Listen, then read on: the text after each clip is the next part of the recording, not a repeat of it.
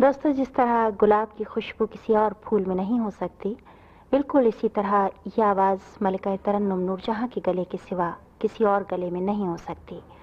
जिस तरह किसी मुल्क की शनाख्त, उसकी तहजीब, सकाफ़त, उसका हुस्न, उसके दरिया, उसके मुतरनम झरने होते हैं, इसी तरह पाकिस्तान की शनाख्त के लिए अगर कोई मुझसे पूछे तो मैं फ़ख्र से कहूँ कि मेरे देश में हँसते मुस्कुराते चेहरे हैं लहलाती फ़सलें हैं गाते गुनगुनाते दरिया झरने हैं और मादाम नूरजहां हैं। आज ये आवाज़ और शख्सियत का हुस्न हमारे प्रोग्राम की जीनत है।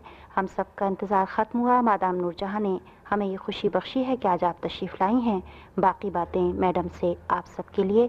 अस्सलाम वालेकुम मादाम नूरजहां। वालेकुम सलाम। कैसी हैं मादाम आप? मेहरबानी शुक्रिया। अल्लाह का करम है।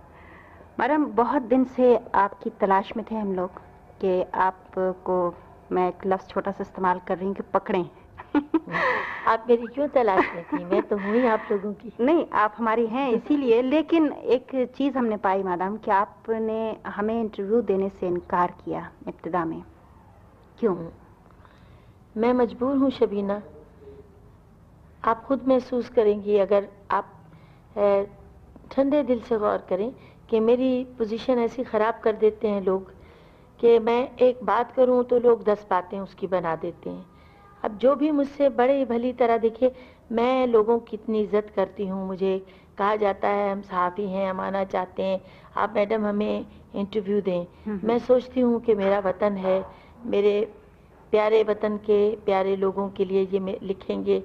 और मेरे हालात उनको बताना चाहते हैं जी जी ज़रूरी बात है हम्म। कि जो लोग मुझे प्यार करते हैं वो ज़रूर जानना चाहेंगे कि नूर जहाँ कैसे बैठती है कैसे उठती है क्या पहनती है क्या खाती है कैसे रियाज करती है या उसकी ज़िंदगी में क्या तलखियाँ आई हैं या क्या उसने नशे बफरा ज़िंदगी के। देखे हाँ। बहुत सारे बहुत से ख्याल तस्वुरात हमारे चाहने वालों के प्यार करने वालों के दिलों में सुनने वालों के दिलों में होते हैं।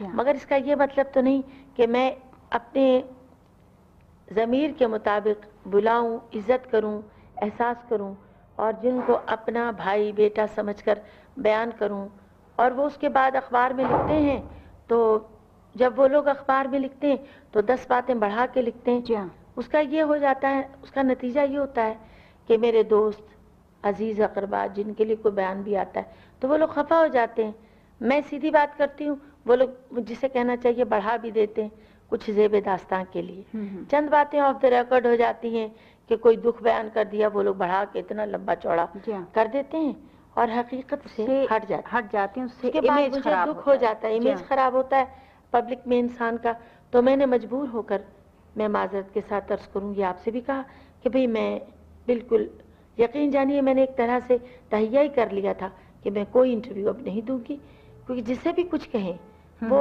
अजीब से उसकी शक्ल इख्तियार करते हैं। हम्म, हम्म। बहरहाल मैडम आपने जितना हमारे मुल्क के लिए कंट्रीब्यूट किया है मौसीकी में उतने तो सवाल शायद मैं इस कलील वक्त में आपसे नहीं कर सकूँ।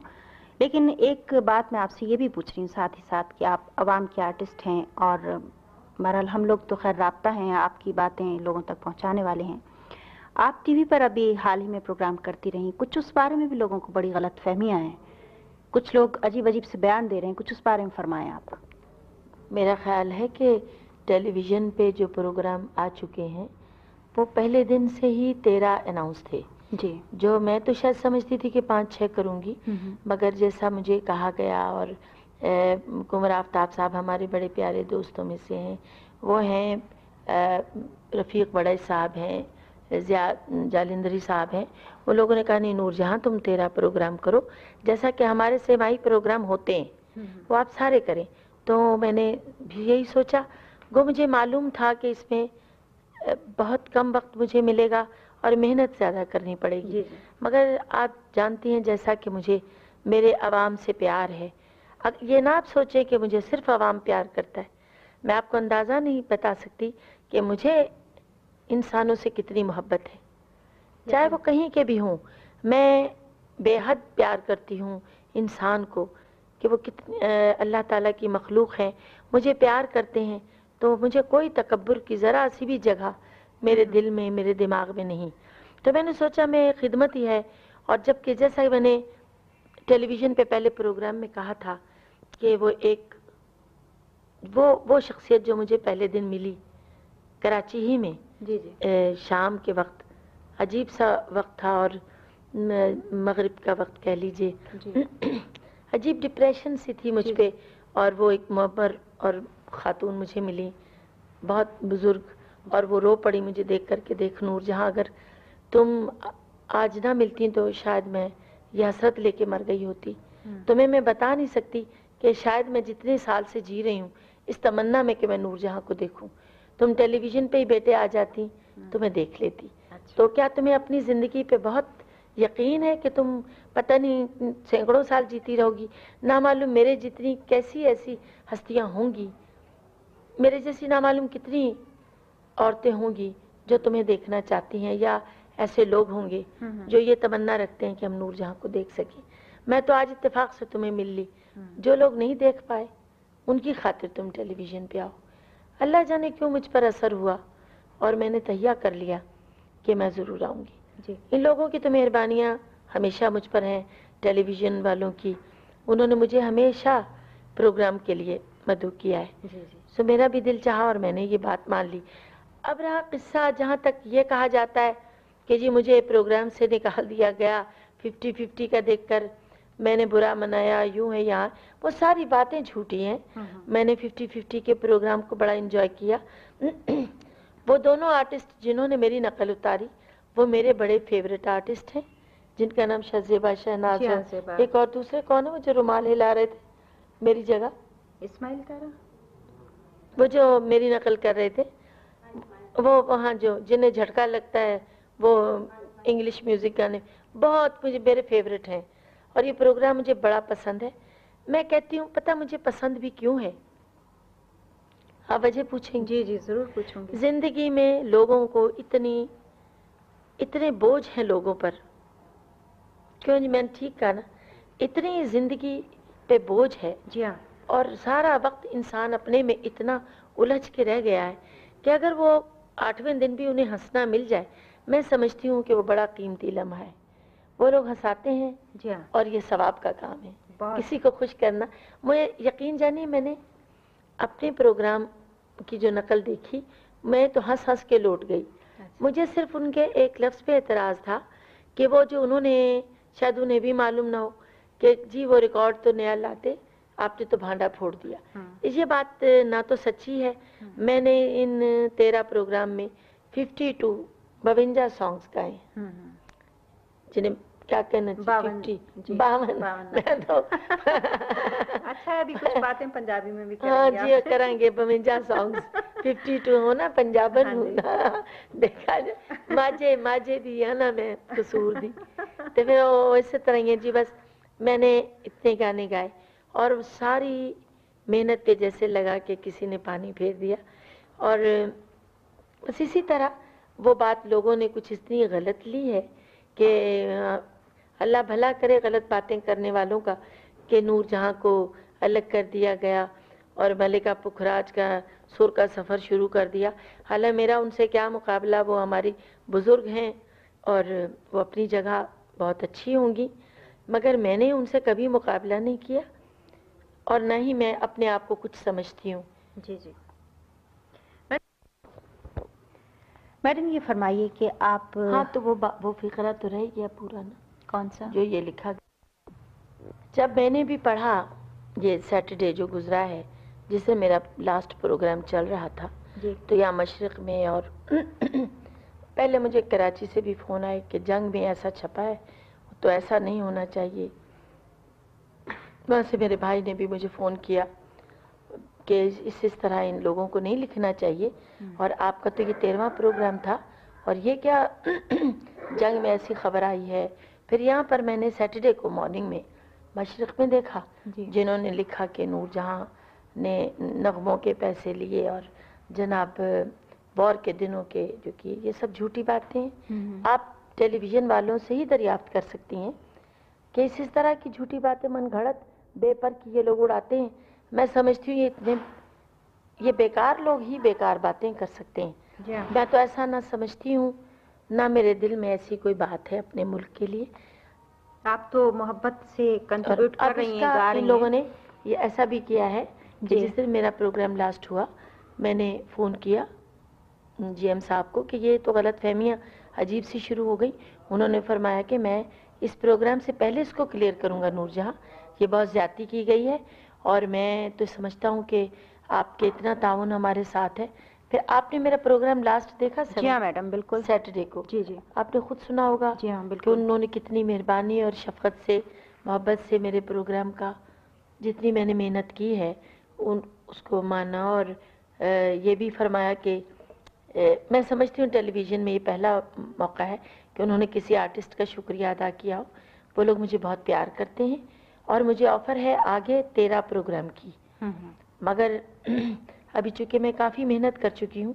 मैं इंशाल्लाह जैसे ही मुझे वक्त मिला मैं इससे ज़्यादा मेहनत करके फिर प्रोग्राम करूँगी। क्योंकि मुझे अपने आवाम से प्यार है। इन बातों से शबीना मैं अपने आवाम की मोहब्बत को कम नहीं कर सकती। चाहे लाख मेरे लिए झूठी सच्ची बातें अखबार वाले लिखते रहें मगर मुझे इस बात की परवाह नहीं है। मैं समझती हूँ कि अखबार वाले भी मेरे खिलाफ नहीं हैं। चंद एक लोग ऐसे हैं शर पसंद जो गलत बातें उन तक पहुँचाते हैं। और जैसे कि आप मुझसे फरमा रही थी कि भाई अखबार में आपके लिए क्यों ऐसी बातें आती मैं समझती हूँ कि अखबार वालों से भी मेरा कोई ज़ाती अनाद नहीं। हम्म, हम्म, मैं समझती हूँ कुछ ऐसे लोग हैं जो महज ये चाहते हैं कि उनका काम ही सिर्फ़ बुराई होगा। बेकार होंगे तो वो जी ऐसे हाँ ही। कुछ लोगों की जहनीत मादाम इस टाइप की होती है हाँ। बहरहाल उनसे तो आप भी मजबूर हैं हम भी। ये फरमाइए कि आप कितनी बड़ी थी जब आपने पहला गाना गाया? छह बरस की उम्र में। फ़िल्म में? जी जी छह बरस की थी। मैं अच्छा। कलकत्ता में। अच्छा अच्छा। और किस उम्र में कैमरे के सामने आई? उसी दिन। छह बरस की उम्र में जी हाँ। वहाँ शूटिंग हो रही थी जी कलकत्ता में। हम्म, कज्जन बीबी थी वहाँ जैसा मैंने टेलीविज़न पे भी कहा। जी जी। एक प्रोग्राम में। कज्जन बीबी थी वहाँ अख्तरी बाई थी। और सेठ सुखलाल के क्या सुखलाल करनानी। वहाँ वो लोग थे और ये फ़िल्म का एक बहुत बड़ा इदारा था। तो मैं मैं भी वहाँ गई। आप किसी प्लानिंग के तहत नहीं, मतलब गई थी सब हमारे तो सब अ, मेरे अम, भाई बहन सब हम लोग उधर चले गए थे कलकत्ता में। अच्छा अच्छा। तो मेरी बड़ी सिस्टर को हम्म, फ़िल्म में लिया गया। मैं भी स्टूडियो चली गई। हम्म, मैं छह बरस की थी। हम्म, तो कज्जन बीबी को मैं वो बे औलाद थी उन्होंने मुझे फिर बेटी बना लिया। हम्म, और मैं शूटिंग में जिस दिन गई रात को। तो बस बच्ची थी सो गई। एक जगह उन्होंने कहा बेटे तुम उठ के गाना गाओ। तो मैंने पहली बार गाया लगा जा पतन चनादा हम्म, और उन्होंने वो कैमरा चलवा दिया लाइट डाल के मुझ पे। हम्म। और पहला दिन वही था। अदाकारी और गुलकारी का। मैडम आज आप शोहरत के जिस मकाम पर हैं कभी आपने सोचा था कि आप इतनी बड़ी आर्टिस्ट बन जाएँगी? नहीं शबीना ये तो अल्लाह को अल्लाह की मेहरबानी होती है। इंसान मैं समझती हूँ मुझे गाने का शुरू से शौक है। गाने के लिए। मैं जब कुछ भी नहीं जानती थी जी जी। तो गाने को गाना जानती थी। सुर से मेरी मस्त शुरू से है। और जैसे पता नहीं मैं बयान नहीं कर सकती कि मुझे बचपन से गाने के साथ क्यों इतनी वाबस्तगी है मेरी रूह को। ओढ़ना बिछोना आपका सुर है। पता नहीं क्यों मुझे मालूम नहीं। मैडम आपको मलका तरन्नुम का खिताब मिला। ये किस सन में मिला? किसने दिया था आपको? मेरी शादी हुई बॉम्बे में जी। ये मैंने पिक्चर में काम किया था जीनत में। जी।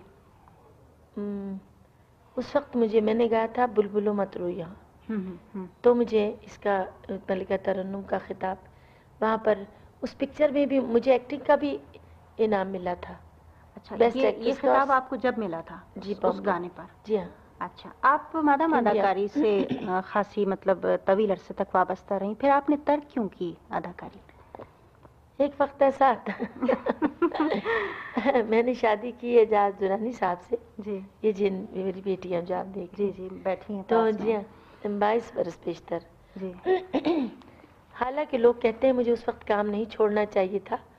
और जैसा कि आर्टिस्ट को होना चाहिए स्लिम हो गई और एक्टिंग बहुत अच्छी करने लगी। लास्ट पिक्चर है मेरी कोयल और मिर्ज़ा गालिब हैं। जी। जो लोगों ने देखी हैं और उस वक्त मैंने काम छोड़ दिया। मैं मैंने महसूस किया कि मैं एक वक्त फ़िल्म में काम और शादी शादी दो अच्छा। चीज़ें नहीं चल सकती। अच्छा। घर को वक्त नहीं दे सकते ज़्यादा। सुबह जाना शाम को आना तो फिर मैंने गाना मैं छोड़ नहीं सकती थी। तो वो मान गए एजाज साहब कि अच्छा आप गाना ना छोड़े। गाती रहे मगर फ़िल्म का काम छोड़ दें। अच्छा अच्छा। और वो पठान है उन्हें गैरत भी थी कि भाई काम ना करो। क्योंकि हीरोइन को अक्सर गले लगना पड़ता है। तो कहते थे भाई काम नहीं करना फ़िल्म में आ, हम करेंगे तुम ना करो। हमने कहा अच्छा जी आप लगते रहे हम बर्दाश्त करें। अच्छा मैडम आपने तो पाकिस्तान के हमारे सभी जहीन मौसीकारों की तरजें गाई हैं। आप की कोई जाती पसंद है? किस सिलसिले में जाती पसंद? आपके पसंदीदा मौसीकार से मेरी मौसीकार? सभी अच्छे हैं जी। ये तो कोई ऐसा सवाल नहीं जो मैं मौसीकार एक का कह दूँ। सभी अच्छे हैं। अच्छा मैडम अभी जो आपने ताज़ा तर गीत गज़लें हम लोगों को दिए हैं उनमें से आपका एक नगमा है सुर संगीत की जोगन बन के। जी हाँ। तो ये अब्दुल्ला साहब का है। अच्छा। ये ट्यून अब्दुल्ला साहब की है। आप फरमाएँ तो हम ये सुनवाएँ। हाँ हाँ। मुझे भी बहुत पसंद है। मैडम आपके बारे में ये कहा जाता है कि आप को कोई मौसीकार जब तर्ज सुनाते हैं तो आपको दोबारा बताने की ज़रूरत पेश नहीं आती उन्हें। ये बात अल्लाह अल्लाह का करम है। ऐसा होता है ना मालूम मुझे क्यों? बहुत जल्दी ट्यून याद हो जाती। बस हिसाब किताब और ये समझ लीजिए कोई बिज़नेस की बात हो तो हम्म। बड़ी कुन जहन हो। अच्छा। कुछ नहीं समझ में आता बखुदा यकीन कीजिए कोई हिसाब किताब ऐसा हो कि जिसमें पैसा इन्वॉल्व हो या बिज़नेस हो वो मेरे महीनों सालों समझ में नहीं आया। मगर ये गाना तो एक मिनट से दूसरे मिनट पता नहीं क्यों मुझे याद हो जाता है। ऐसा लगता है जैसा मैंने पहले गाया हुआ है। अल्लाह की बड़ी मेहरबानी है अल्लाह माशाल्लाह आपने गाया भी इतना है कि ज़ाहिर अब कोई गुंजाइश नहीं रही है। नहीं नहीं ऐसी तो अच्छा मैडम गाने के साथ एक्सप्रेशन बहुत ज़रूरी होता है और आपके गाने की खसूसियत है कि आप उसको बड़े भरपूर अदायगी के साथ गाती हैं। तो ये इजाफा आप अपनी तरफ़ से करती हैं या जो मूसीकार साहब बनाते हैं तर्ज वो गाइड करते हैं आपको। ये भी अल्लाह की देनी समझिए। क्यों? कि जो बनाते हैं यकीनन वो कुछ अपनी तरफ़ से बना के लाते होंगे मगर आर्टिस्ट में भी इतनी सलाहियत होनी चाहिए शबीना कि वो अपने आप को उसमें समा दे उसके अल्फाज को सोचे उस धुन का मूड देखे उस राग के उतार चढ़ाव को पहचाने और फिर अपने आप को उसमें समा के सोचे कि जिस लड़की पे ये वक्त या ये घड़ी गुजर रही है वो कैसे इसको महसूस करेगी? तो खुद ब खुद आप उसी जज्बात में गाएँगी। मैडम गाने में तफरी तबाह के अलावा फ़न की भी खासी भरपूर झलक होती। है फिल्मी गाने में आपको फनकाराना उस्तादी दिखाने का कितना मौका मिलता है? देखिए क्लासिकल की जैसे मैंने तालीम पाई शुरू से ये तो ज़ाहिर है कि उस तरह तो हम लोग नहीं पूरी क्लासिकल की उस पर खूबियाँ दिखा सकते हम्म। मगर मेरा ये ख्याल है कि अगर आपकी तालीम क्लासिकल सही हुई है और बुनियाद पुख्ता है तो ये जो नीम क्लासिकल और फिल्मी गाने और ये सब ठुमरियाँ गज़लें कुछ भी महसूस नहीं होती क्योंकि बुनियाद पक्की हो हाँ। जानी चाहिए ना तो फिर आप चाहे जितनी मंजिलें उस पर बना लें और अगर बुनियाद सही नहीं सही नहीं तो तो कुछ भी नहीं होता। मैडम आपने एक गज़ल गाई थी आशियाने की बात करते हो। हाँ। बहुत डूब के गाई हुई चीज़। आपको पसंद है जाती बहुत बहुत पसंद है। तो और वो तो ट्यून भी एक मिनट में बनी थी। अच्छा। हाँ, मैं कोयत अम, कतर में स्टेज पे जी जी। मैं स्टेज पे थी तो मुझे लिख कर ये गज़ल आई हम्म, पब्लिक में से। हम्म, हम्म, तो वहीं बना दी गई और तसदुक साहब नहीं बनाई मेरे साथ थे अच्छा अच्छा। स्टेज पे। उन्होंने धुन छेड़ी और ज़रा सा मुझे आसरा दिया कि यूँ कहिए। अ, देखा जाए तो उन्हीं की धुन है हम्म, हम्म, मगर वो उस वक्त फिर बदी यूँ गा देना हम्म, बड़ा अ, काम था। और मुझे गज़ल पसंद आ गई स्टेज पे ही पढ़ के कि। बहुत खूबसूरत। गज़ल है। फिर मैंने वहीं पब्लिक को सुनाई और बाद में मैं उसी ट्यून पे पक्की हो गई कि ये ट्यून तो बहुत अच्छी है। अच्छा मैडम आपने फ़िल्म के लिए खासे अरसे तक गाया ज़्यादा तो आपने फ़िल्म के लिए गाया। अब कुछ अरसे से आप गैर फिल्मी को भी नवाज़ रही हैं। तो आपको खुद ज़्यादा लुत्फ किसमें आया? इतने अरसे आपने फ़िल्म के लिए भी गाया तो गज़ल भी अब गा रही हैं। हाँ। अब कैसा लग रहा है? मुझे बहुत अच्छा लगता है। गज़लों में बहुत मज़ा आता है और मैं गज़लें मैं इसलिए भी गा रही हूँ। और मैंने अपने प्रोग्राम में टीवी के प्रोग्रामों में गज़लें ज़्यादा गाई हैं। जो नज़र भाई ने बनाई हम्म। और एक आध मैंने भी बनाई है जिसपे मैं नहीं पसंद करती कि अपना नाम दूँ। हम्म। तो मैं बहुत इंजॉय करती हूँ गज़लों को। और ख़ासकर जो नज़र भाई ने अब ये इसका गज़ल का ट्रेंड बदल दिया है ना वो मुझे बहुत पसंद है। वरना यूँ महसूस होता था खैर मेहंदी हसन तो सदियों ऐसे पैदा नहीं होते सुर वाले लोग। उनकी तो गज़ल अनाउंस हो तो दिल को ठंडक पड़ती है। मगर अमूमन ये होता है कि जी गज़ल अब अनाउंस हुई तो लगता है कि अब ये जैसे हमारे गुलाम अली माशाल्लाह वो भी हम्म, बड़े अच्छे हैं। तो यूँ हो जाता है ना गज़ल शुरू हुई तो अब ये जी अल्लाह इस गज़ल को ख़त्म करेगा। तो गज़ल का एक डरावन डरावना सा और बड़ा भयानक सा हम्म। तस्वुर जैसे पैदा हो जाता है वो नहीं होना चाहिए। इसमें मैं पहले अर्ज़ कर चुकी हूँ कि मैं मेहंदी हसन या गुलाम अली के लिए नहीं कह रही। माशाल्लाह ये तो बड़े फनकार लोग हैं। मगर जहाँ तक यह है कि मैंने चाहा है कि गज़ल का एक नया रूप दुनिया को दिखाया जाए पब्लिक को हम्म। जो कोशिश कर रही हूँ। थोड़ा सा मैंने किया भी है और इनशाला मेरे लॉन्ग प्ले रिकॉर्ड बन रही हैं बन रहे जी जी। उनमें मैं इंशाल्लाह और पेश करूँगी। और इसलिए मुझे गज़लों से बहुत रगबत है कि इनसे इसमें नए अंदाज के बोल आते हैं जी। जिसको पब्लिक इंजॉय करे। जी हाँ शायरी का एक बड़ा शायरी मफहूम मिलता है बड़ा मफहूम मिलता हाँ। है। अच्छा मैडम कभी ये हुआ कि आपने तो खैर जो कुछ गाया है वो सभी अच्छा है। कोई गाना जो आपकी अपने जी को लगा हो ठा करके तो वो किसी दूसरी हीरोइन पर पिक्चराइज गाना भी गाया था मैंने सीने न लग जा ठा करके।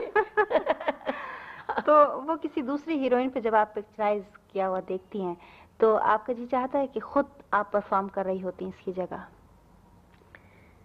देखिए गाने को पिक्चराइज कराना मेरे लिए तो आसान है क्योंकि मैंने गाया होता है और मुझे उसके जज्बात का पूरा पूरा एहसास होता है। जी हाँ जी मगर जो लड़की जिस पे पिक्चराइज होता है पता नहीं अगर तो वो एक्सप्रेशन लेस फेस रखें तो हम्म। ज़रूर मुझे दुख होता। जी जी। मेरा गाना हमारी सबिहा खानम अल्लाह उन्हें ज़िंदगी दे जिसे हम प्यार से बिल्लो कहा करते हैं। आज काफ़ी सालों से वो मुझे बहुत प्यारी हैं। वो मुझ पर गाना वो मेरा गाना जो अपने आप पे पिक्चराइज कराती थी हम्म, बेहद खूबसूरत। हाँ। मैं मुतमिन हो जाती थी। मगर उसके बाद बहुत कम ऐसा वक्त आया है कि मैं मुतमिन हूँ कि भी मेरा गाना किसी लड़की पे ठीक। पिक्चराइज हुआ। क्योंकि जो मैं चाहती हूँ वो उतने डूब कर उसमें नहीं फेस पे एक्सप्रेशन नहीं लाती। आपको यकीनी दुख होता हाँ बहुत दुख होता है। सारी मेहनत से गाती हैं। वैसे सब हीरोइने ज़रूर मेरे पीछे तो पड़ जाएँगी मेरा तो कुड़ी पठा बहन आ गई। पुत्र मन मरवाए करके जाना ने। अच्छा माता ये फरमाइए क्या चाहती हो? पहले ये बताओ।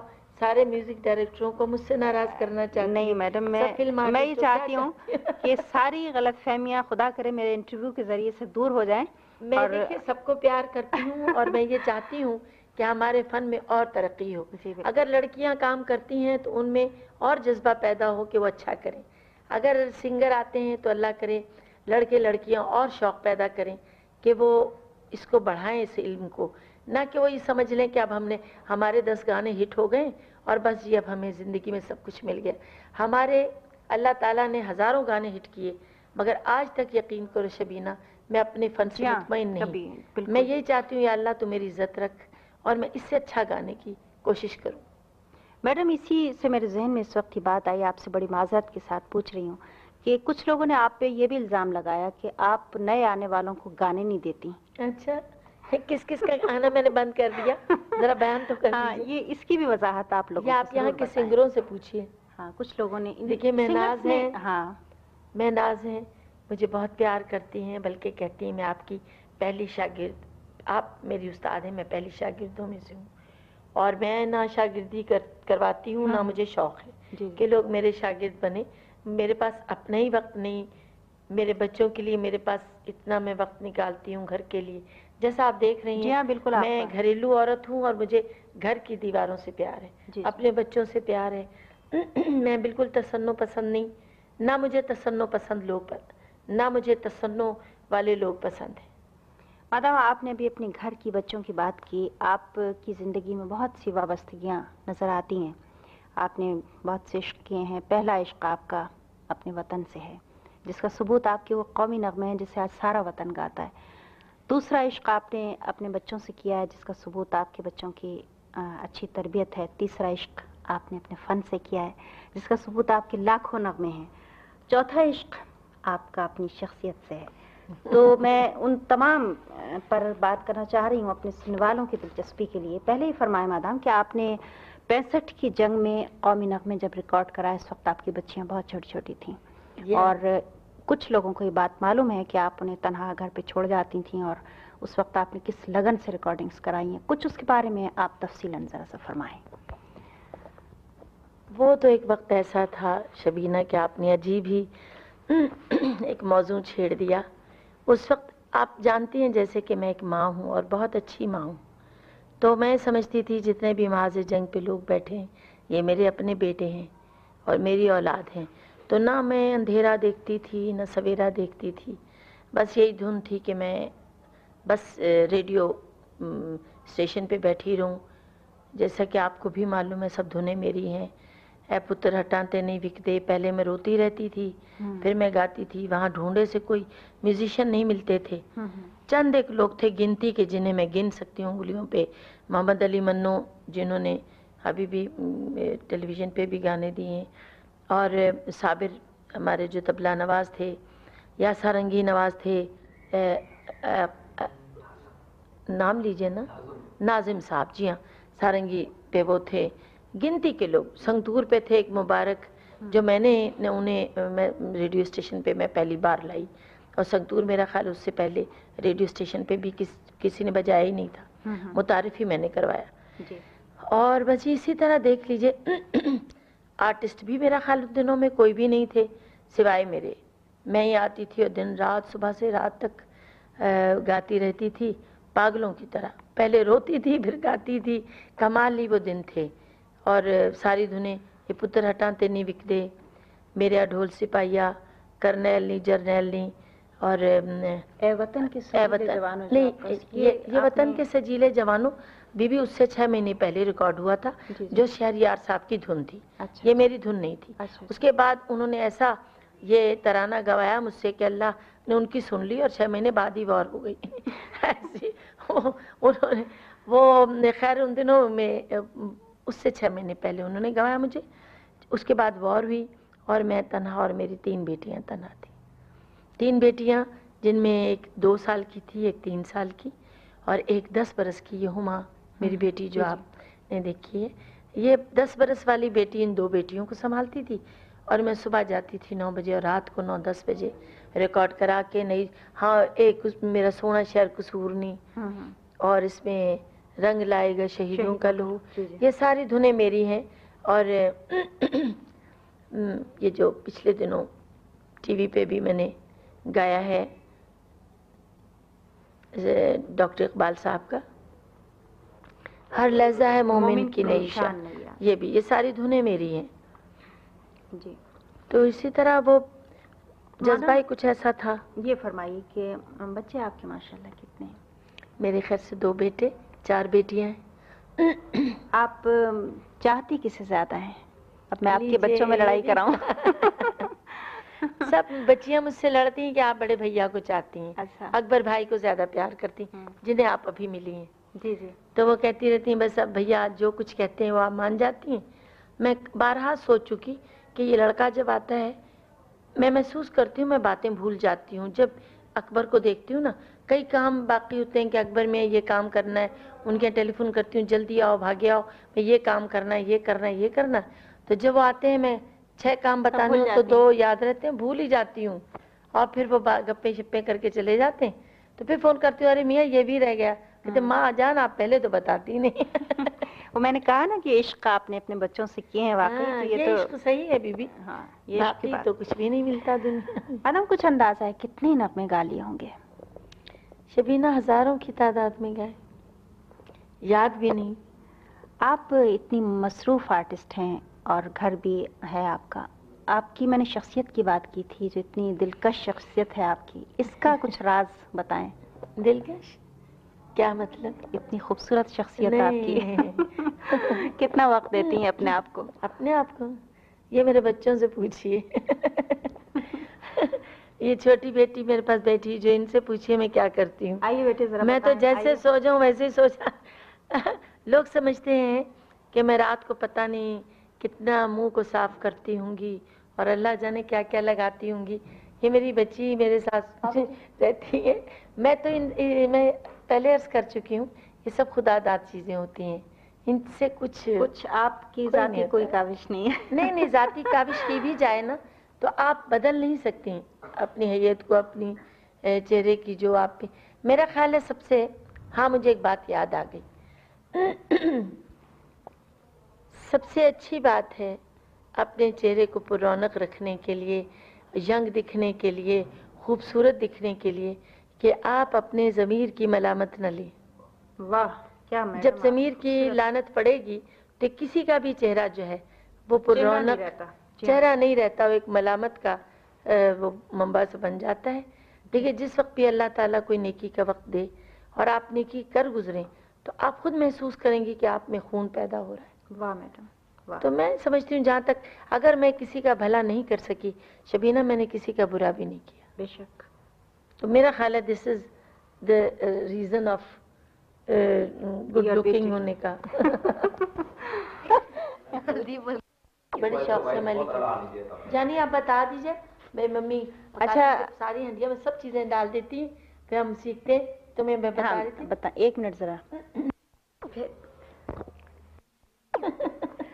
बेटा आप मैडम आपकी साहबजादी यहाँ बैठी हुई हैं छोटी। तो मैं इनसे पूछती हूँ कि आप चेहरे पे क्या लगाती हैं अच्छा। आप नहीं बता रही हैं। हाँ बेटा नाजिया? रात को तो कुछ नहीं लगाती। हाँ। मुँह भी नहीं धोती रात को सोते सो जाती हाँ। सुबह उठ के सोती अभी तो आप कह रही थी मामा हल्दी लगाती है। नमक मिर्च भी लगा लेती है। अच्छा खाना किसके हाथ का पका खाती हैं? मम्मी ज़्यादातर पकाती है। मम्मी पकाती हैं। आपको कुछ आता पकाना? मम्मी ने भुजिया सिखाई। भुजिया सिखाई है? हम्म। और क्या क्या आता है? कीमा सीखा था भूल गया। भूल गया? और अपने कपड़े अपने खुद ठीक करती हैं बिस्तर अपना कमरा? हम्म? कमरा तो मेरे मम्मी के साथ ही है। अच्छा। तो स्कूल से आने के बाद ठीक करती हूँ क्योंकि मम्मी देर से उठती है। हम्म, छोटी बेटी हुई ना। अच्छा बेटा शुक्रिया। मैडम अब ये फरमाए ज़रा सा कुछ आते हैं शेर व शायरी पे। आपने तो बड़े सिलेक्टिव कलाम गाए हुए हैं और ज़ाहिर है इसमें आपकी बड़ी आला पसंद होगी जैसा आपका ज़ौक़ है। आपने पढ़ा कुछ अपने देश के शायरों को? हाँ मुझे शेर व शायरी से बस शौक़ है शुक्र अल्हम्दुलिल्लाह। मुझे समझ है शेर सोच सकती हूँ समझ सकती हूँ गा सकती हूँ। इतना आपके पसंदीदा शायर नहीं है कम नहीं है बहुत है। मैडम हम बात कर रहे थे शायरी की। तो पढ़ती हैं कभी फुर्सत मिलती है तो शायरी। हम्म। फुर्सत कम मिलती है। ज़ाहिर है वो तो आपकी मसरूफियत से ज़ाहिर है। अच्छा मैडम ये फरमाइए कि मौसीकार जब कोई धुन बनाता है तो उसके जहन में एक फ्रेम होता है। आपके गले में कुदरत ने तो बहुत मोती रखे हैं सच्चे। कभी ऐसा हुआ कि कोई मौसीकार ने आपको कोई तर्ज दी हो?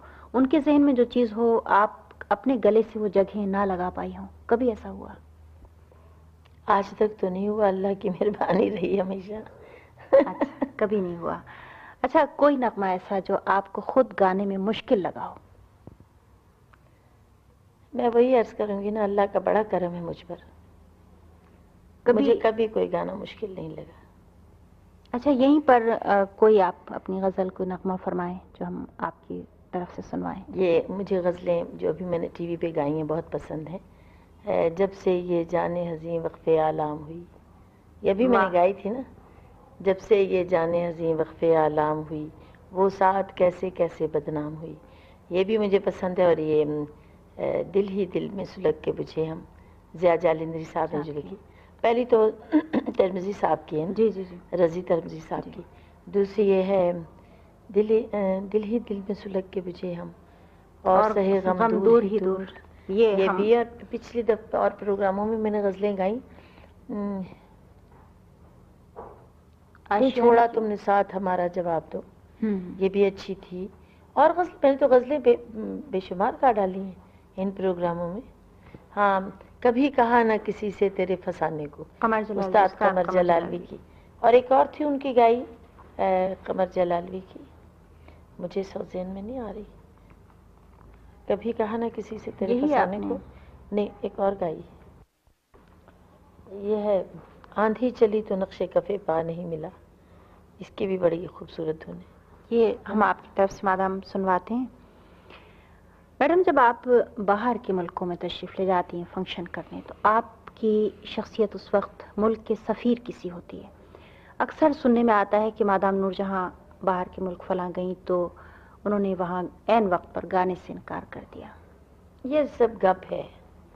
ऐसे फ़ंक्शन ख़राब करने वाली बातें होती हैं नहीं ऐसी बातें करती। ये तो मेरा ख्याल है टीवी पे मेरा पहला प्रोग्राम जो आया था यादश बखैर उसमें भी दिलदार भट्टी साहब ने सवाल किया। हम्म, जो मेरा ख्याल है बहुत अच्छी तरह सारे अवाम को पता चल गया कि दावत पे बुलाया और टिकट्स बेच दी हैं और गाने के लिए। उसमें मेरे मुल्क का भी नाम तबाह होता था। हम्म। लिहाजा मैं अपने एक उसूल की मालिक हूँ और मैं किसी कीमत पर अपने उसूल ना बेचती हूँ और ना अपने फ़राइज़ को भूलती हूँ। मैं बाहर जाती हूँ जैसा आपने अभी फरमाया कि एक सफ़ीर जैसी मेरी उस पोजीशन होती है तो मुझे कोई ऐसा काम नहीं करना चाहिए कि मैं चंद लोग ये ज़रूर मैं कहूँगी कि बाहर एक्सप्लॉइट करते हैं। हम्म, कि हम्म, इनको किसी तरह से बेइज्जत किया जाए या अपने मफाद के लिए करते हैं हरकतें। मसलन टोरंटो में अ, टोरंटो में टोरंटो ही में कहना है हाँ। जी? एक सेकंड बेटे ठहर जाए टोरंटो में मैंने शो किया और मिलने वाले थे और मेरे जो स्पॉन्सर थे उन्होंने चेक उनका कबूल ना किया। लिहाजा मैंने अपनी ज़िम्मेवारी पे काफ़ी कीमत का वो चेक था और मैंने उनको कहा कि आप चेक ले लें। मैं इसके ज़िम्मेवार हूँ ये लोग आपको पे कर देंगे। और शो कर दिया गया। दूसरे दिन उन लोगों ने मेरी ये इज़्ज़त रखी कि स्टॉप पेमेंट करवा दी। तो ऐसे ऐसे नुकसान उठाने पड़ते हैं ना। बाहर मुल्क में आपको पता है कि पैसे तो नहीं होते मगर ये लोग अपने ज़ाती मफाद के लिए और जिनके साथ ऐसे तनाज़े हो जाएँ फिर वो एक्सप्लॉयट करते हैं कि जी इन्होंने हमारे साथ यूँ किया यूँ किया। हाँ। बदनामियाँ झूठ मूठ की करते हैं। ये उनकी अपनी जहनी हालत ऐसी। घटिया होती है कि वो दूसरों को नाजायज़ फ़ायदा उठाने उठाते हैं उनसे। बाइसित इंसान की मादाम आपने दुख और सुख दोनों तरह की फ़सलें काटी हैं। आप दुख ज़्यादा करते हैं दुख। आप वैसे हमेशा हंसती रही हैं। खुदा खास्ता कोई रंज मिले तो कैसे बैलेंस करती हैं? अल्लाह ना करे शुक्र है खुदा का। मैं अपने अल्लाह को बहुत करीब महसूस करती हूँ और उसकी इतनी करम नवाजी है मुझ पर कि मैं ये सोचती हूँ मैं इस लायक नहीं थी। जितना उसका मुझ पर रहम है करम है। उसने इतना नवाजा है मुझे अपने हबीब के सदक़े में कि मैं बेहद खुश नसीब हूँ। सबसे बड़ी बात देखिए मुझे अल्लाह ने बच्चे दिए और अल्लाह उनकी ज़िंदगी करे और उनकी खुशियाँ दिखाई। मेरे बच्चे बड़े नेक हैं मेरे काबू में हैं मेरी इज़्ज़त करते हैं। यही सबसे बड़ी दौलत है। बड़ी? और क्या होता है और अल्लाह ने सब कुछ दिया। इज़्ज़त दी नाम दिया। ये तो और बात है ना हासिद जलें। तो उसका मैं अपने दिल पे असर नहीं लेती। मैं समझती हूँ कि बुरे को कौन बुरा कहेगा? जी हाँ। आप अच्छी हैं तो कोई बुरा कहेगा ना?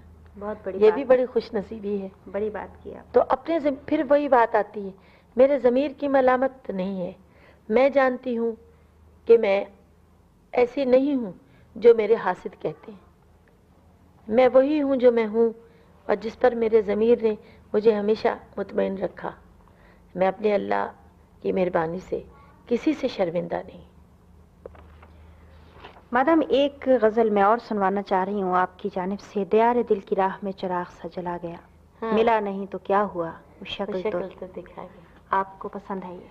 हाँ जी मुझे पसंद है। इजाज़त है सुनवाऊं? जी जी ज़रूर। मैडम आपकी साहबजादियाँ माशाल्लाह हुस्न तो अल्लाह ने बेपना दिया है उन्हें। गला दिया कुछ। ये मेरी जो अभी बच्ची आज मैं बहुत खुश हूँ जिसका ज़िक्र किया। जी जी। लाख लाख शुक्र है अल्लाह का आज मेरी ये बच्ची सीनियर कैमरेज में फ़र्स्ट आई है ना? जब भी आप आज रिज़ल्ट उसका आया। मैं बड़ी खुश हूँ और तभी आप इसे पूछ रही थी कि आज आप बहुत खुश हाँ। हैं। यही जो गई जी, हैं। इसको बहुत शौक है बेपना गाने का शौक है। हम्म, इसकी आवाज़ भी अच्छी है। मगर जैसा कि आज तक उन्हें वक्त नहीं मिला हम्म, और वो मरी में कॉन्वेंट जीसस एंड मेरी में तीनों मेरी बेटियाँ पढ़ती थी। जी जी। तो पिछली ने बड़ी ने पिछले साल किया हम्म, सीनियर कैम्ब्रिज और उससे छोटी ने अब किया। लिहाजा ये जो सबसे छोटी हैं जो आपसे मेरे राज बता रही थी कि मैं हल्दी मिर्च मलती हूँ रात को मुँह पे आपने कहा हल्दी मलती है तो उन्होंने नमक मिर्च भी साथ मिला दी क्योंकि ये मेरे साथ सोती हैं। लिहाजा इन्हें मेरे सब राज का पता है कि मैं हल्दी मिर्ची रात को लगा के वो खुद भी हैरान होती हैं कहती मम्मी सब तो कहते हैं कि आप इतनी खूबसूरत लगती हैं और आप पता नहीं क्या क्या लगाती है मुँह पे। मामा मुँह तो धो लीजिए या करी। अक्सर यकीन कीजिए मैं सो रही होती हूँ। तो मेरी बच्चियाँ क्लींजिंग क्रीम लगा के मेरा मुँह साफ़ करती हैं कि स्किन ना खराब हो। हाँ। मगर अल्लाह का करम है मेरे शुरू से ही। ठीक है कुछ। सारी दया कुदरत की तरफ़ से आपको मिली। मैडम रंग आपकी पसंद का? मेरी पसंद के? सब हल्के रंग पसंद है मुझे। ग्रे रंग मुझे जैसा पहने हुए आप। पहन ये लाइट ग्रे जिसे कह लीजिए सिल्वर ग्रे और हल्का गुलाबी हल्का ये जो लेमन कहना चाहिए हम्म। जो मेरे लास्ट प्रोग्राम में मैंने लास्ट में पहना पहना है। हल्का गुलाबी भी मुझे पसंद है। या बिल्कुल पहनना हो तो स्याह मुझे पसंद है। वाइट लोग कहते हैं मुझे सूट करता है। मुझे भी पसंद है बस मगर मैं ज़्यादा नहीं पहनती कि मैं बुरी ना लगूं क्योंकि सफ़ेद बहुत खूबसूरत लोगों को पहनना चाहिए। आप तो इतनी खूबसूरत हैं कि मेरे पास तो लफ्ज़ ही नहीं कि मैं बताऊँ आपको कि आप कितनी खूबसूरत हैं। आपकी नज़रों का मैडम नाम की शख्सियत पे बहुत असरात होते हैं। नूर जहाँ आपका नाम। तो ऐसा लगता है कि जैसे आपकी शख्सियत पे बहुत सूट किया आपका कुछ बिलीव है इस पे? हाँ सुना है कि नाम का असर होता है मगर मैं तो समझती हूँ। फिर वही बात आती है कि अपने खुदा के हाथ में है सब कुछ नाम को हसीन बनाना किस्मत को हसीन बना देना सब उसी का काम है। आपने अपनी ज़िंदगी दूसरों की खातिर ज़्यादा गुजारी है। कभी ये एहसास हुआ आपको? मैं इसी में खुश हूँ। मैं समझती हूँ इंसान को क्या फ़ायदा ऐसी ज़िंदगी का जो अपने लिए गुजारे। सिर्फ़ अपने से ही मैं, मुझे वो लोग पसंद नहीं है, जो सिर्फ़ अपने लिए जीते हों। लोगों के लिए जीना, अब तो डे, दिन ब दिन कह लीजिए कि मेरा इतना जी चाहता है, मैं जो भी कुछ करूँ, लोगों के लिए करूँ सारा दिन सुबह से शाम तक यकीन करें शबीना, अब तो और भी ज़िंदगी मेरी इस तरफ़ हो गई है कि मैं सोचती रहती हूँ कि किसके लिए क्या करूँ। पराए लोगों के लिए भी सोचती रहती हूँ और कर गुजरती हूँ, यही प्लान बनाती रहती हूँ। अभी जब हम परसों आए थे दोपहर को आपके यहाँ तो एक खातून से मुलाकात हुई थी, आपके गेट पे बैठी हुई थी। तो मैंने उनसे पूछा था कि आप किस लिए आई? तो उन्होंने कहा, जी, मैडम ने वादा किया है कि वो मेरी बेटी के लिए जहेज देंगी। तो कुछ पैसा देंगी तो वो जहाँ से अंदाज़ा हुआ आपकी मोहब्बत का कि आप न सिर्फ़ अपने फ़न से लोगों को प्यार दे रही हैं बल्कि इस तरह से भी। मैडम खाना खुद पकाती हैं आप? मुझे बहुत शौक है पकाने का और खिलाने का। सिर्फ़ पकाने खाने का नहीं। अच्छा। मैं तो मैं यही चाहती हूँ जब लोग खाएँ मेरी टेबल पे मेरे बच्चे खाएँ और इन लोगों की भी आदतें कुछ बिगड़ गई मेरे बच्चों की कि मेरे हाथ का पसंद करती हैं। तो मैं इनके लिए ज़रूर एक वक्त पकाती हूँ। सुबह से खानसामा भी फिर मतलब है ठीक रहता ना सर पे नहीं चढ़ते ये लोग। हाँ, और अगर इन्हीं पे रह जाएँ तो फिर ये आए दिन धमकाते हैं कि लीजिए जी हम जा रहे हैं। हाँ। तो मैं कहती हूँ नहीं खुद ही काम करना जी। खाना मैं बहुत अच्छा बनाती हूँ। कभी मौका हुआ और तो- मेरे दोस्त बहन भाई बैठ के खाएँ तो मुझे इतनी खुशी होती है कि मैं क्या बताऊँ। मैडम, आप एक एकेडमी भी तो मौसीकी कायम कर रही हैं, उसमें आप खुद सिखाएँगी। जी, उसके लिए मुझे कुछ वक्त पता मिल नहीं रहा। खासकर इन सवा तीन महीनों में तो बिल्कुल भी वक्त नहीं मिला छः महीने से मैं टीवी के प्रोग्रामों में थी। मैं चाहती हूँ एकेडमी इसलिए नहीं बनाना चाहती कि मुझे कुछ आता है, बल्कि मैं ये चाहती हूँ कि जो भी मुझे, जो भी कुछ आता है, वो मैं बताऊँ लोगों को। और वो उस्ताद लोग जो अपने घरों में इस वक्त उनके पास फ़न का एक दरिया है समंदर है मगर कोई फैजियाब नहीं हो रहा। हम्म, वो लोग बेचारे गरीब हैं और क्या पता रातों को वो भूखे सो जाते हैं। मगर एक तो फन भी हमारा रह गया और दूसरे वो लोग भी तकलीफ़ें उठाते हैं। तो ये दोनों काम हो जाएँगे कि उनके रोज़ी लग जाएगी और हमारे जो लोग हैं बच्चे बच्चियाँ हैं वो फैजियाब होंगे इल्म से जो उन तक सही इल्म पहुंचेगा। ये अच्छा आपने बहुत इकदाम किया है। मैडम आपकी जो शख्सियत है वो हज़ारों लोगों की आइडियल शख्सियत है। आपकी कोई आइडियल शख्सियत है? आइडियल से क्या मुराद? मैं समझी नहीं। आप क्या मुराद है पसंदीदा आपकी? आप हज़ारों? लोगों की पसंदीदा शख्सियत आप हैं। आपकी पसंदीदा शख्सियत। अब इस वक्त या बचपन में? बचपन में भी बताइए और अभी हाँ बचपन में तो मैंने टीवी पे भी कहा था कि आइडियल थी मेरी ने, और अभी भी वो हैं मैं उन्हें बहुत प्यार करती हूँ। अल्लाह उन्हें ज़िंदगी दे। मुख्तार बीबी हैं। बीबी मुख्तार जी जी। बेगम आगा हशर थी वो। और अल्लाह उन्हें ज़िंदगी दे। अभी वो कराची में रहती हैं। जी हाँ। मैं उनकी बहुत इज़्ज़त करती हूँ बहुत प्यार करती हूँ। और उन्होंने शुरू से ही मुझे अपनी बच्चियों की तरह समझा। मैं छोटी सी थी जब वो गाती थी स्टेज पे तो मैं कहा करती थी और बड़ी प्यारी लगती थी सफ़ेद साड़ी पहन के जर्क बर्क। तो मैं बैठी सोचा करती थी कि मैं इतनी बड़ी होकर मैं भी ऐसी साड़ी पहन के गाया करूँगी। वो मुझे बहुत पसंद है और मैं चाहती थी मैं वैसी बन जाऊँ। तो मैं महसूस करती हूँ जब मैं टीवी पे आती हूँ तो यकीन जानी मुझे ऐसा लगता है कि वो मेरा ख्वाब पूरा हुआ। ऐसा कह लें कि आपने ख्वाब देखा था ख्वाब देखा था मुझे लगता है हम्म, कि मैं वो ख्वाब वाकई पूरा हुआ। और उसी अंदाज से मैं गाती हूँ और वो मेरे सबकॉन्शियस में है। मैं जान के नहीं वैसे करती हम्म, मगर अ, अ, क्या कहना चाहिए? सबकॉन्शियस। दानिस्ता दानिस्ता नहीं। फॉलो नहीं करती ना, गैर मगर गैर। शौरी तौर पे मेरे जहन में वो बसी हुई है और वैसा होता है मुझसे। हम्म, आप जितनी हसास आर्टिस्ट हैं उसी एतबार से पूछ रही हूँ कि मौसम आपको कैसा अच्छा लगता है? मौसम तो देखिए ये ज़रूरी तो नहीं कि बहुत सर्दी हो तो अच्छा हो या बहुत कड़कड़ाती गर्मी हो तो अच्छा है। मौसम तो वही अच्छा है जब अल्लाह की रहमत हो और आप पे खुशियाँ उसकी तरफ़ से नाजिल हो। मैं समझती हूँ उससे अच्छा मौसम कोई नहीं। कोई नहीं। अब वैसे आप बड़ी रंजीदा और गमगीन हो और बारिश हो रही हो और आप रो रही हो। फ़ायदा क्या हो? उस मौसम का। कहा जाएगा जी बड़ा रोमांटिक मौसम है। मगर मैं समझती हूँ बड़ा ही मनहूस मौसम होगा। और इससे बेहतर मौसम कोई नहीं। कोई नहीं है। क्या पर अल्लाह की रहमत हो और चाहे वो सर्दी हो गर्मी हो खुशियाँ हो। कभी तन्हा बैठी होती हैं तो क्या सोचती हैं? मैं आप आप हैरान होंगी मैं तनहा रहती नहीं। हाँ वो मैंने देखा अभी माशाल्लाह। अंदाज़ा हो गया माशाल्लाह बच्चे भी खेले हैं मुश्किल से तीन बजे तो मुझे सोना मिलता है क्योंकि मेरी बेटी हुमा जी जैसे आपको मालूम है कि माशाल्लाह जो भी घर है अल्लाह का करम है उसी का दिया हुआ है। मैं बच्ची को बच्ची मेरी हुमा रहती है यहाँ उनको मैं खुद ले आई हूँ हारून मियाँ को अपने पास। हम्म, क्योंकि तना थी और इतना बड़ा घर था। छोटी तीन बेटियाँ वहाँ पढ़ती थी। हम्म, लिहाजा उन्हें मैं साथ रखती हूँ। तो वो लोग तीन बजे जब तक रात को माशाल्लाह नमाजी हैं और तहजद गुजार हैं। हम्म, तो वो लोग तो रात को तीन बजे मुझे यहाँ से उठ जाने देते हैं यकीन जान।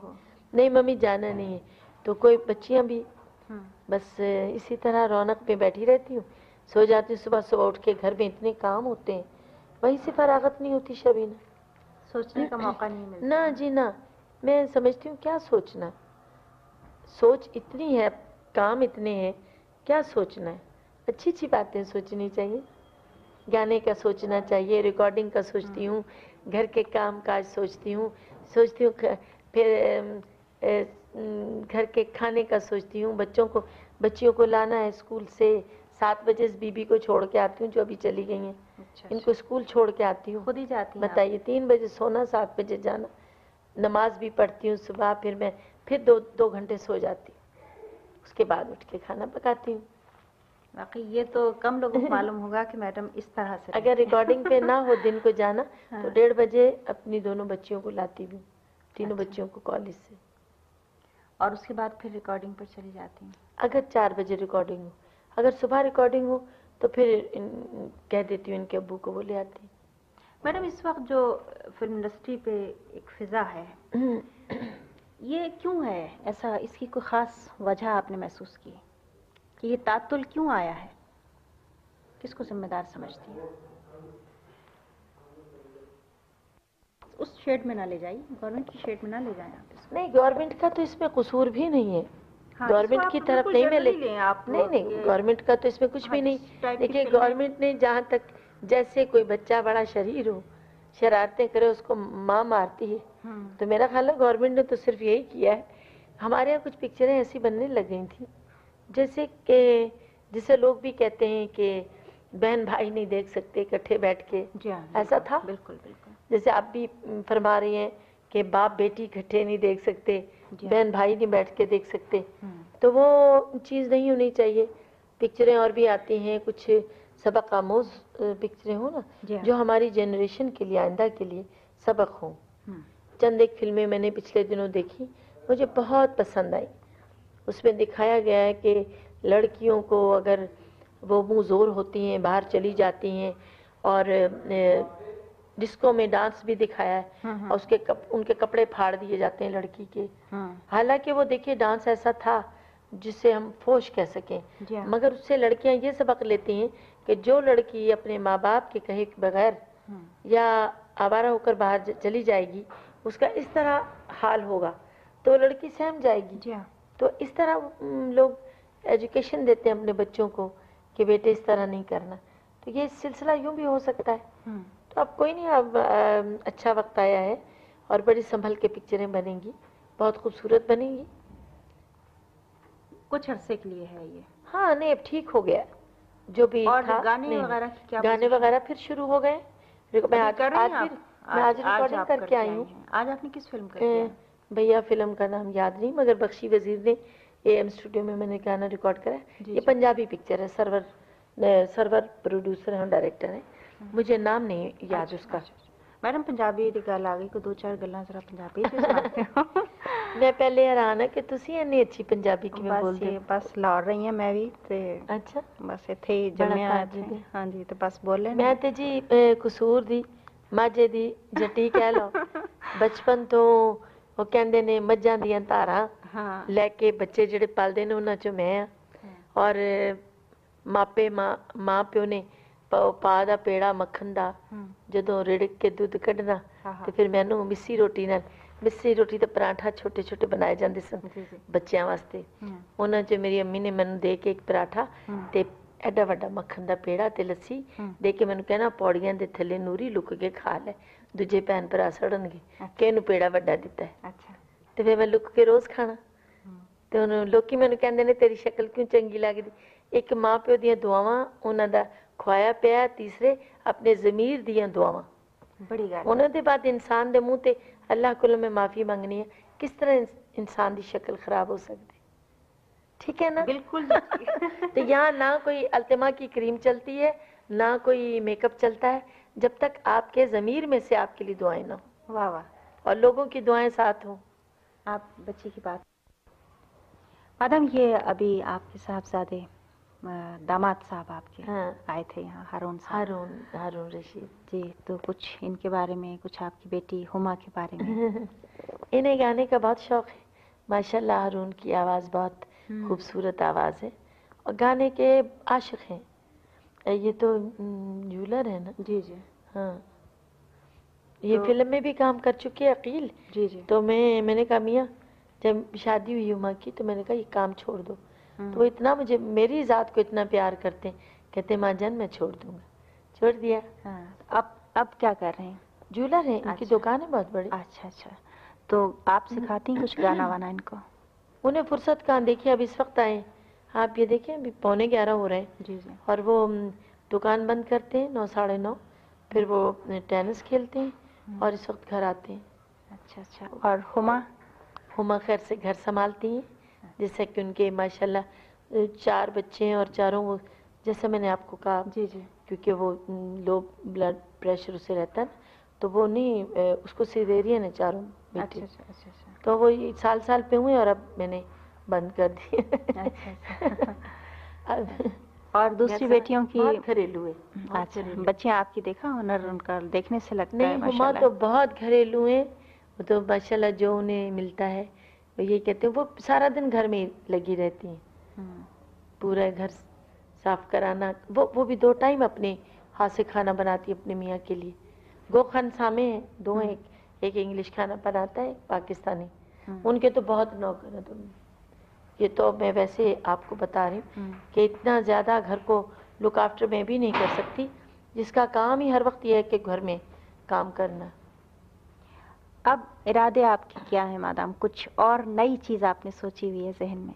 कुछ ज़िंदगी को नया रुख कोई नया मोड़ को फन की तरफ़ कुछ को नयापन लाना चाहती हैं अब बस मेरी ज़िंदगी में तो यही एम है कि मैं फ़न की खिदमत करूँ और मखलूक की। जो भी मुझसे हो सकेगा गाने के लिए और ख़िदमत के लिए मैं ज़िंदा हूँ। ये बच्ची आपकी छोटी है जिनका आपने बताया कुछ गला ठीक ठाक है। अगर इन्होंने बड़े होके चाहा कि वो गाएँ तो आप इजाज़त देंगी। हाँ मेरी तरफ़ से इजाज़त है। मैं तो समझती हूँ गाना एक नेमत है अल्लाह की। अगर ये बच्चे गाना चाहें तो मेरी तरफ़ से कोई इनकार नहीं। मगर शबीना ज़बरदस्ती गाना गवाया नहीं जा सकता। जी हाँ बिल्कुल। मगर उसे बेपनाह शौक़ है। और मैंने कहा है कि अगर उनका जी चाहे वो गाना चाहें तो अपने अबू से इजाज़त लें और गा लें। मुझे कोई इनकार नहीं। अच्छा। मादाम इस वक्त जो हमारे मुल्क में गा रहे हैं आपके बाद लोग मेदी साहब के बाद भी नए लोगों का मैं नाम ले रही हूँ खासतौर से इसमें महनाज हैं गुलाम अब्बास है नैयर है ये लोग आप इन्हें सुनती होंगी। कुछ आपकी राय के ये अ, मतलब कैसे हैं ये लोग? शबीना अगर ये लोग सीरियसली मेहनत करेंगे जिनका आपने नाम लिया है तो ये लोग बहुत अच्छे हो जाएँगे। अगर इन लोगों ने ये महसूस कर लिया कि हम बहुत अच्छे हो गए हैं और हमें अब ज़रूरत नहीं है तो फिर आपको जैसा मैंने पहले अर्ज़ किया कि ख़त्म हो जाएगा सब कुछ। जी। अगर ये मेहनत करते रहे और अपने आप को मकम्मल इन्होंने मुकम्मल ना समझा और अपने आप में तलाश करते रहे कि ये खामियाँ हैं किसी के बताने से भी नहीं आता। खुद भी तो तलाश जारी रखनी चाहिए। ज- जैसे मिसाल के तौर पे मैं तो आपको अपना ही तजुर्बा बता सकती हूँ कि मैंने देखिए कितना गाया है ज़िंदगी भर गाया। और जब गाना मैं सुनती हूँ अपना तो मैं एक सबक के तौर पे सुनती हूँ। जैसे मैं सबक ले रही हूँ। मैं महसूस करती हूँ ये तान मैंने कही ठीक नहीं कही ये अच्छी कही है ये लगाओ अच्छा है। और देखिए ये गाना जो है तीन चीज़ों पे मन- मनसर है। जी। हमारे में हम लोगों को जब गाना सिखाया जाता है तो ये कहते हैं दिखया सीखिया और प्रिखिया। हम्म, एक देखा जाता है सीखा जाता है उसको परखा जाता है। हम्म, परखना यही कि मैं गाऊं और उसको परखूं कि मैं क्या कर रही हूँ। देखा जाता है कि मैं आपको सुन रही हूँ आप गा रही हैं किस अंदाज से गा रही हूँ वो भी एक सीखना है। हम्म, और सीखना तो सीखना ही है। जी हाँ। और जब हम ये समझो हो हमें आ गया जी अब अजी हम तो अब मलिका तरन्नुम हो गए। तो मलिका तरन्नुम बने हुए तो आज मुझे पैंतीस बरस हो गए। तो मैं छोड़ चुकी होती। हाँ। मगर मैं इस लक़ब से इस लक़ब से मैं मुतमिन नहीं हूँ। मेरा ज़मीर मेरा दिल जानता है कि मैं कुछ नहीं गाती। मैं इसी तलाश में रहती हूँ कि मैं इससे अच्छा गाऊं। तो इसी तरह ये लोग अगर करते रहे तो ज़रूर अच्छे हो जाएँगे। मैडम कुछ अब इतनी बातें करने के बाद आपका जैसा मूड साजगार हुआ है कि एक लाइन जरा सी आप गुनगुना दें। मैं क्या गुनगुनाऊँ आप कोई चीज़ आप क्या इस ये क्या? आपकी गज़ल जो है दयार दिल की राह में चराग से जला ये सिर्फ़ एक शेर आप मेरे इस्तदा पे गा दें। ज़रूर यही गज़ल गाई जाए। आप जो आपकी पसंद हो वो गा दें। ना बार बार इसको क्यों कह रहे हैं? ये मुझे जाती तौर पे पसंद थी इसलिए हाँ? मैंने कहा। आपने गाई भी बहुत लगता है मैं भी एक सवाल आपसे कर सकती हूँ। ज़रूर ज़रूर। लगता है आपका दिल भी चोट खाया हुआ है। अब इस सवाल को काटिएगा नहीं। हैं? कि दयार दिल की रात में चराग सा चला गया। मिला नहीं तो क्या हुआ? वो शक्ल ही शक्ल तो दिखा दिखा गया आपको कोई शक्ल दिखा गया? मैं आप लगता है मैं मैंने भी आपकी दुखती रग पकड़ ली। सवाल का जवाब दे दूँ मैडम आपको? मेरी इस नगमे से वाबस्तगी या दुखती रग जो है वो नासिर काजमी है। जिनकी हाँ, शायरी वाकई दिल दुखाती है। हाँ ये तो आपने बिल्कुल सच कहा। ये मैं भी महसूस करती हूँ। एक मैंने और टीवी पे उनकी नज़र गाई थी। क्या बात जी हाँ जी, छोटी बहरों की हाँ, खूबसूरत बहुत खूबसूरत मैंने उनकी एक और गज़ल गाई याद आया। जी हाँ। अब वो भी आपने नहीं शायद सुनी? जी जी मैंने हाँ। सुने हाँ, कुछ याद नहीं वो तेरी याद थी अब याद आए याद आया दिल धड़कने का दिल धड़कने का सबब याद आया। जी जी। आपने सुनी है टीवी पे ना? जी उन्हीं की तो मुझे ये मुझे खुद उनका कलाम बहुत पसंद है। तो बस ये एक शेर आप हमारे लिए जरा सा कोई सा भी जो आप चाहें।